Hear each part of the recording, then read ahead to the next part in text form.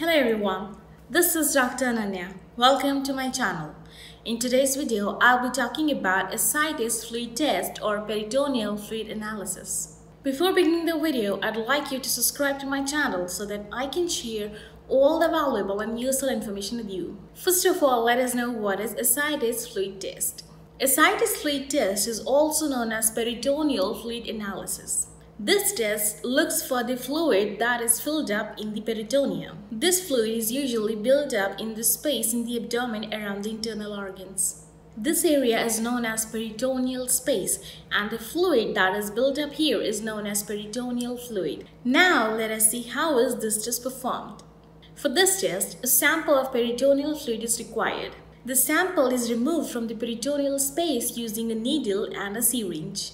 Most of the times, ultrasound is used to direct the needle in the peritoneal space. It is used so as to avoid any penetrating injury. For this test, a small area of abdomen is cleaned. Later, a numbing agent is applied on the skin so as to avoid any sort of pain. After this, a needle is inserted through skin into the abdomen and the fluid is pulled out. The fluid later on is filled up in the syringe and sent to the lab. The fluid is usually used to measure albumin, proteins, and RBCs and WBCs. This fluid can also be used to check for infections and various kind of bacteria. Now let us see how can you prepare for this test.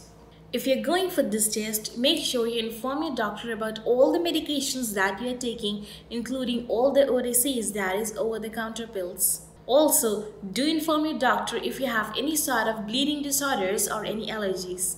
Now let us see how will the test feel. During the procedure, you might feel little stinging sensation. You might also feel pressure of the needle, but this is usually painless because the numbing cream is already applied. In some cases, we apply numbing cream and in some cases, we apply the numbing medicine, depending on the doctor and the patient. Also, it depends on the doctor how much amount of fluid is to be taken out. But if a large amount of fluid is taken out, you might feel little lightheadedness or dizziness. If you feel so, make sure to inform your doctor about this. Now let us see why is this test performed. This test is usually performed to diagnose peritonitis. It can also be done to find the cause of the fluid in the abdomen. Sometimes this is done with people having a liver disease to take out the extra fluid from the peritoneum. This helps in better breathing.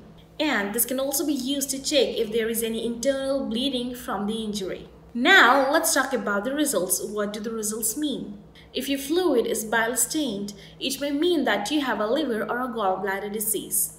If the fluid is bloody in nature, it may mean that there is a tumor or an injury.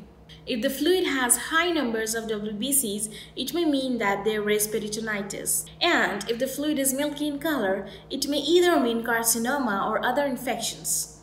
If your results are abnormal, your doctor might require additional tests and scans to confirm the diagnosis. After interpreting all the test reports and the scans and looking after your medical history, your doctor might talk with you to develop a treatment plan that works best for you. Also, it's equally important for you to get tested from a reputed and reliable lab. A link to a reputed and reliable lab will be provided in the description below. If you have any questions or any suggestions, feel free to comment down below. Till then, stay safe and stay healthy.